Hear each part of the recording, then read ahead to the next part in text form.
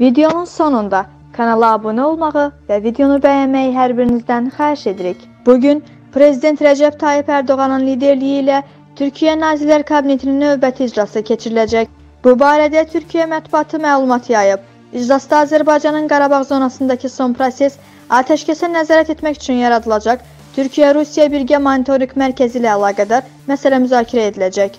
Bundan başqa, bölgəyə göndəriləcək türk sülh məramları ilə bağlı fikir mübadiləsi aparılacaq.